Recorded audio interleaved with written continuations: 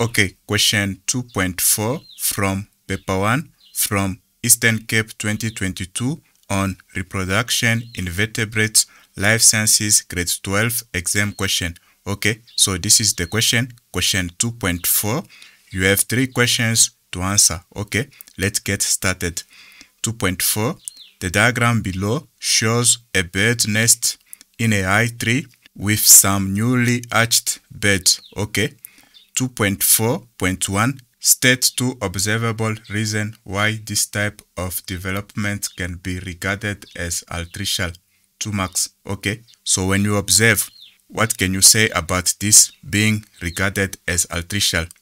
Okay, 2.4.1 You can see you don't have feathers. Okay, the chicks do not have feathers. Okay, no feathers and they cannot move. Okay, unable to move and the eyes are closed. Okay, so this is what we have to know about altricial development as compared to precocial development. Okay, so in altricial development, you have the young ones, they are less developed. Okay, in altricial development, the young ones are less developed. Okay, this is the reason why you have no feathers, unable to move, and the eyes are still closed.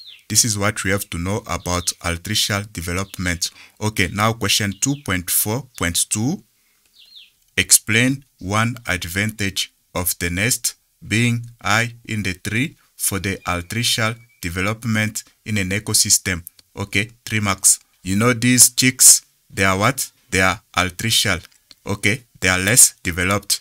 So they cannot escape from predators. They cannot move. Okay, for them to be safe, the nest must be high in the tree. Okay, so because this is high in the tree, it will not be accessible to many predators.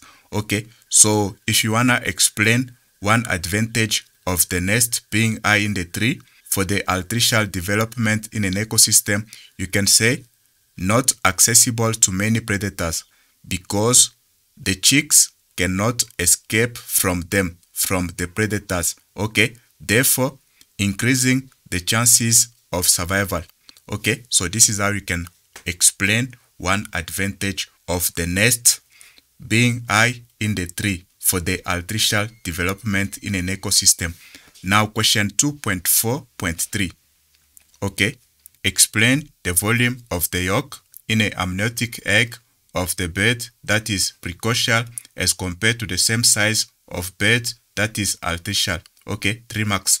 Explain the volume of the yolk in an amniotic egg of the bird that is precocial as compared to the same size of the volume of the yolk of bird that is altricial. So you have to compare the volume of the yolk in precocial and in altricial. Okay, so you have to remember that precocial birds are born fully developed and altricial birds are born less developed. Okay, so this, the volume of this will be more than the volume of this. Okay, the volume of the yolk of precocial will be more than the volume of the yolk of altricial. Okay, so you can answer this question as the yolk volume in precocial bed will be more than in altricial bed. Okay, because the precocial bed needs more nutrient so that it can be born fully developed. Okay, remember precocial birds or young that are precocial are born fully developed. And for this reason the yolk volume in precocial bed is more than in altricial bed okay? Because it needs more nutrient to be born fully developed okay? So this is how you can answer these questions. We are done with question 2.4 until next time i will talk to you soon